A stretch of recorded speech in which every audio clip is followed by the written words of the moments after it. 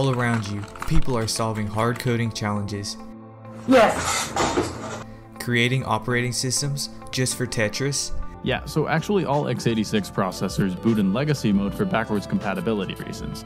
And coding spinning donuts. Here on the left is a spinning ASCII donut, and on the right is a donut shaped C code by Andy Sloane. You try and code one of these cool projects, but just stare at the screen with the Hello World program staring back at you. You just started to learn how to code, and all of these things seem so far away. You get demotivated and start to think coding is not for you. In this video, I want to go over how coding is for you and how to stay motivated when learning how to code. My name is Bradley Allen, and on this channel, we focus on computer science topics with the main purpose of making you more knowledgeable. Let's get into the video. There are a lot of people out there that will wait for the perfect condition to start programming and learning. But in reality, if you wait for the perfect moment, there is a chance that that moment will never come. Many people spend their whole lives waiting for that perfect moment and never ever get a chance to start what they really want to do. And all that happens is time. Time goes by and there's a chance that they will never use that time to achieve their goals. The sad reality is that there is no motivation that will keep you going when things start to not work. You wanting to achieve that result should be the main motivation. There are no shortcuts for things that bring you success, money, and knowledge, and coding and programming is one of those things. Now that I've told you the truth of the matter, and you still want some quick motivation, I got some tips for you guys. When learning to code, having a concrete goal or reason when you start is very powerful. When your code starts to have bugs and things start to not work, having that reason of knowing why you're even coding in the first place will bring you a very long way. This reason and goal can boost your motivation just a little bit that can get you to achieve your goals and, and make progress towards your goal of learning to code. This is true for other areas of life as well. So you may be asking, what kind of goals should I be having for while learning to code?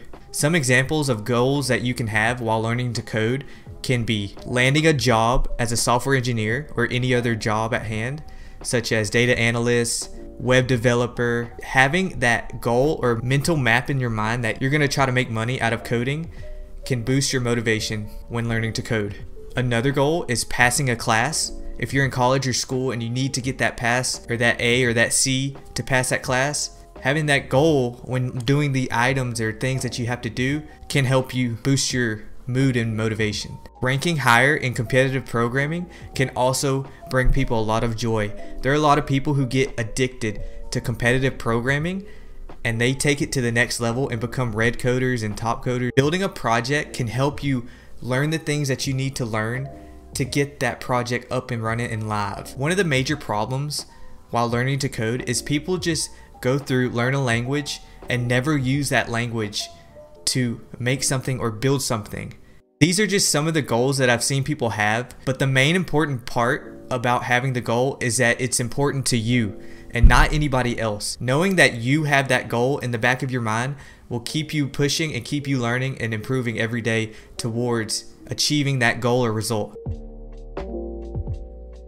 When you say I am learning to code, it's very broad and it's hard to have a mental map of what you're actually doing. If you say I'm just learning to code, all I think about is some HTML file with classes and divs. Knowing exactly why you are coding and what the languages and technologies that you are going to learn is very important when learning how to program and code. That reasoning and knowing the in-depth intricacies about your language or technology stack creates this mental bridge to wanting to do something and actually doing it. Try and pick a specific area in programming that interests you and start learning and doing some projects in that area. This will bring more satisfaction while coding and learning itself. Learning to code does not replace actually coding on a keyboard and making projects. After you watch a bunch of YouTube videos and tutorials on how to code and how to do X, Y, Z, you need to take that knowledge yourself and go and apply it This will make you feel as if you know something, and it will also increase your knowledge and boost your overall confidence that you can actually do the thing that you were learning about. After watching a tutorial or learning a new topic, implement it right after that. This will lead to higher satisfaction and boost motivation when learning to code. Some additional secret advanced tips that I've come to find out over my years of programming are these. Wear a hoodie when programming to make yourself feel like a hacker and, you know, start getting into the zone. Having a hoodie or some sort of of jacket or cozy attire can help you just get down, sink in, and learn something. This has helped me whenever I started learning to code, and it helps me sit down for longer points at a time. Another tip is have music. So, any type of headphones or music while you're coding, like lo fi or beats to chill with, can help you sit down and be at the computer for longer periods of time. What I've found is a lot of people have a hard time sitting down at the computer and learning the things without getting distracted or wanting to do other things. Making that time where you sit at the computer actually enjoyable can help boost your productivity and get you at the computer for longer. Having a candle such as this while you're learning can improve your overall smell and just have a better time learning to code. Another tip is that having a actual book in hand can help you if you're a physical learner and like to write things down. And I have this book here. I used it when I first started to learn C++ and it helped me a lot. Being on the website and going to Chrome, trying to do all the learning on the browser, you can get distracted by watching some YouTube video or going on some website and having an actual book in hand can help you a lot when you're trying to sit down and learn something.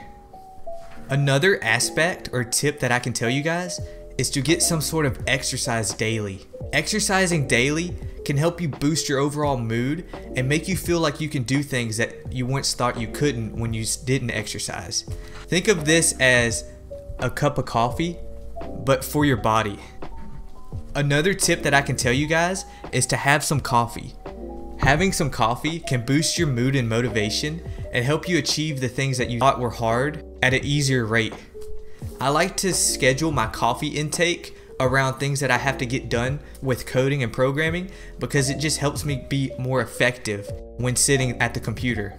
Having coffee, exercising daily, sitting down, and just doing the actual work will all boost your motivation when learning to program.